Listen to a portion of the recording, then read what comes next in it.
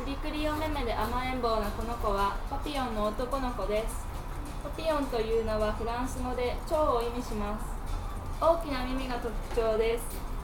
体重が少なく長毛ですが抜け毛は少ないです。室内犬に最適です。コミュニケーションと愛情があれば賢く明るいワンちゃんになります。